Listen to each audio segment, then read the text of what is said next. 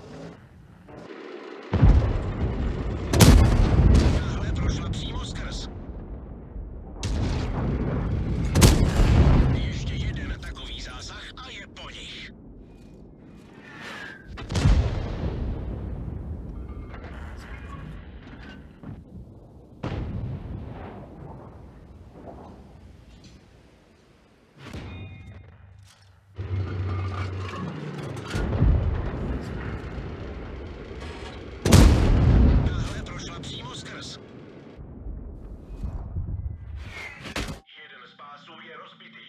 Nemůžeme se ani hnout. Dělo je poškozeno. Nedokážeme přesně mířit.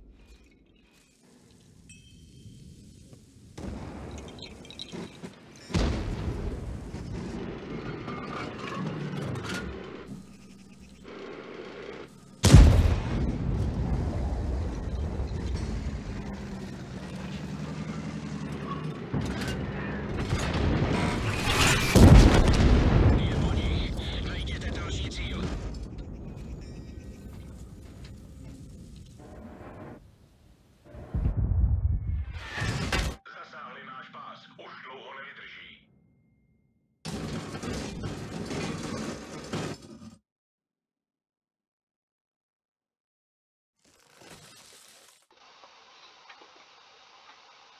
Piškotík, Peters.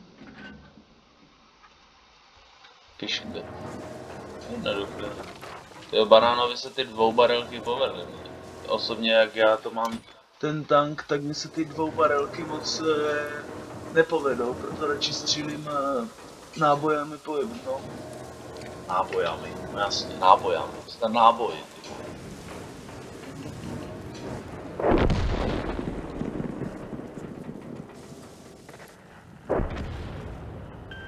Jedu tě krýt na křídlo.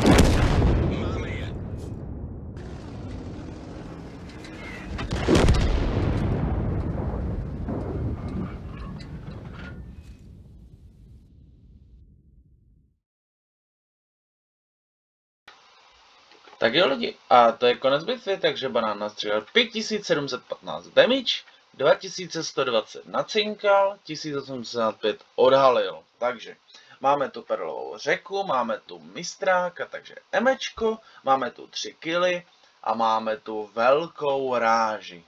No, a to je vše. Takže, co se týče, tak to byl velice, tak to bylo velice zajímavé videjko.